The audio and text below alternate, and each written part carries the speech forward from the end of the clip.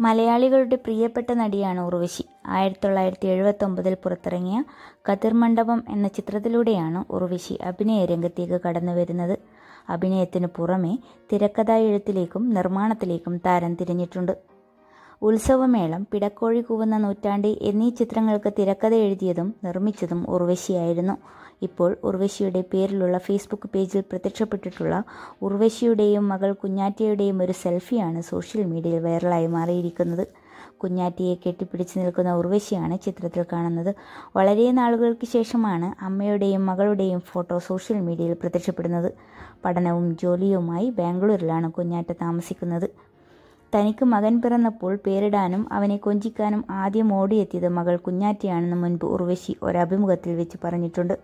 രണ്ടായിരത്തിലാണ് Manoj K ജയനും ഉർവശിയും ഏറെ കാലത്തെ പ്രണയത്തിന് ശേഷം വിവാഹിതരായിരുന്നത്. എട്ട് വർഷങ്ങൾക്ക് ശേഷം ഈ ബന്ധം ഇവർ അവസാനിപ്പിച്ചു.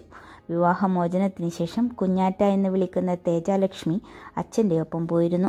പിന്നീട് രണ്ടായിരത്തി പത്തിൽ മനോജ് കെ ജയൻ ആശയെ വിവാഹം കഴിച്ചു.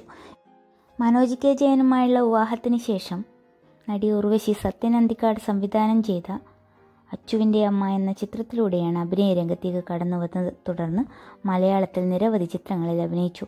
മലയാളത്തിന് പുറമെ നിരവധി അന്യഭാഷാ ചിത്രങ്ങളിലും താരം അഭിനയിച്ചിട്ടുണ്ട്. ഇപ്പോൾ അഭിനയത്തിൽ സജീവമാണ് താരം. ഉർവശി മനോജ് കെ. ജയൻ ദാമ്പത്യ ബന്ധത്തിലെ ഏക മകളാണ് കുഞ്ഞാറ്റ എന്ന തേജാലക്ഷ്മി. മലയാളത്തിന്റെ പ്രിയ താരപുത്രിമാരിൽ ഒരാളായ കുഞ്ഞാറ്റയുടെ ചില ഡബ് മാഷ് വീഡിയോകൾ സോഷ്യൽ മീഡിയയിൽ ഏറെ വൈറലായിട്ടുണ്ട്.